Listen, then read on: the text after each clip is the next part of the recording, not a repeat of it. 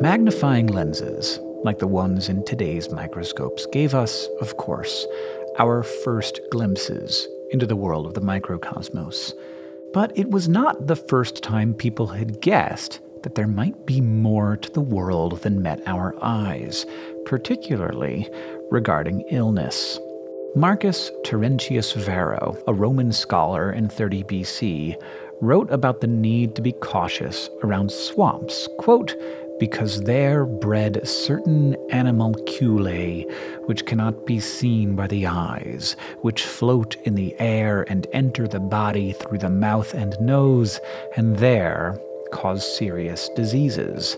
Marcus thus managed to guess at a reality that it would take thousands more years and a great deal of debate to confirm. Even now, when it comes to human understanding of our unseen neighbors, our focus is almost always driven by negative interactions. Our most vivid collective encounters are also some of the most unpleasant the sneezing, the coughing, the upset stomachs, the death. Evidence of an apparent tension between our bodies and the microbial world. This strange little guy is a parasitic flatworm, but for now, it's in its cercarial form, a larva in search of a host, preferably animals like duck, geese, and raccoons, where it can feed on their blood and then mature into adulthood and release eggs through the infected animal's waste. From the eggs will emerge a ciliated larva that will seek out particular species of aquatic snails to serve as an intermediate host as they develop into their cercarial stage and complete the cycle. For all the hosts this parasite will go through, it turns out that we, humans, are not a particularly great one. They can infect us, and when they do, they will burrow into the skin and create little bumps, inciting an allergic reaction that produces a rash, formerly known as cercarial dermatitis, but it's more frequently known as swimmer's itch thanks to its aquatic origin. But for the cercaria, the real challenge is that we just aren't the right bodies to house its development into adulthood, and instead, it will die. The word germs might be the very first term many of us learn to describe microbes.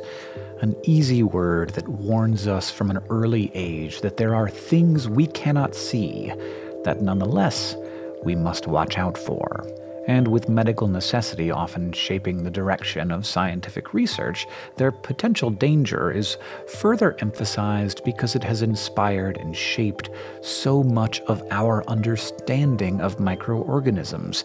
And so we know a great deal about the microbes that can hurt us, and next to nothing about the ones that can't. But necessity is now driving us to better grasp the complexity of microbes in relation to us. The idea that they are only ever enemies is contradicted by our developing understanding of the organisms that live in and on us, not just as freeloaders, but potentially as part of our body's mechanics. Words like microbiome and probiotic are now part of our understanding of the world, and also part of active research, though a far smaller part than research focused on pathogens. But, stop me if you've heard this before, it turns out the world is bigger than humans. And beyond our own perimeters, there's the importance of microbes to the world around us. What is known about that world is a tiny percentage of what there is to know.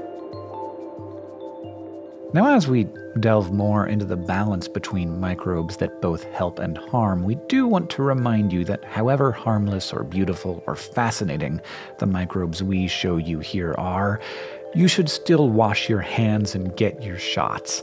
And having done away with that, though, let's remind you that most microbes cannot hurt you. While it would be challenging to calculate the exact percentage of microbial species out there that are pathogenic and could potentially make us sick. Estimates put it somewhere at less than 1%. Figuring out whether the bacteria in our samples lie in that slim percentage would require isolating and growing them up in cultures so that we can sequence and properly identify them, but we just take the safe route and, you know, we don't drink the pond water. Bacterial species do run a range as well, giving us everything from cheese to tetanus. For us, though, their presence helps sustain the many bacteria eaters we feature, and we keep them fed on droplets of milk, water from boiled hay, cooked rice, or even liquid plant fertilizer. Now, nematodes, on the other hand, might seem like a more clear cut danger. More commonly known as roundworms, they are plentiful, with estimates counting them at around 60 billion nematodes for every person on Earth, and around 40,000 species in total. But it's a select few of those species that are particularly notorious for humans, able to enter humans as eggs in contaminated food or as larvae that can penetrate the skin depending on the species so it's understandable if you respond to the image of a nematode with some revulsion. But the vastness of them means that their impact is so much more complex when you examine them across their different intersections with life. From ecosystems where they can move other microbes around the soil and cycle nutrients like nitrogen, to agriculture, where some nematode species may be pests while others are helpful controls of insect populations.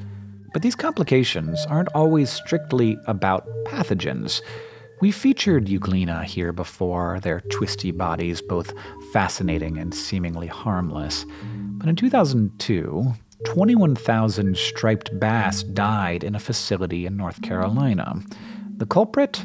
A bloom of Euglena sanguinea, which released a toxin called euglenophycin that is similar in structure to fire ant venom. And yet, this danger poses a potential as well as scientists study the use of euglenophycin to fight cancer. And unlike nematodes, which we decidedly do not want to ingest, there is some culinary promise for euglena, like Euglena gracilis, which, for all of its small size, manages to pack in large amounts of proteins and vitamins. There's an underlying question in this video about all these microbes we've seen. Are they good? Or bad? Or neither? The answer, of course, varies. We're still grasping the extent of what it means to share a world with organisms that we weren't able to even see until a few centuries ago, dealing not only with the consequences of their existence, but also of our own response to what we've learned. Understanding bacteria and other microbes, for example, that helped us usher in the modern era of antibiotics, which has saved so many lives. But antibiotic overuse has also led to the growing threat of antibiotic resistant bacteria. We can't not try to fight disease or find uses for microbes, just as we can't not interact with the world around us.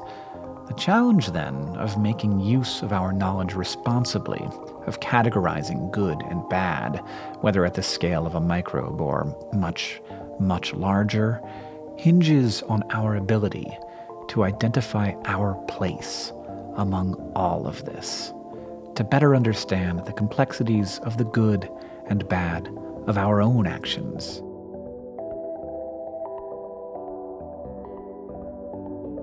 Thank you for coming on this journey with us as we explore the unseen world that surrounds us.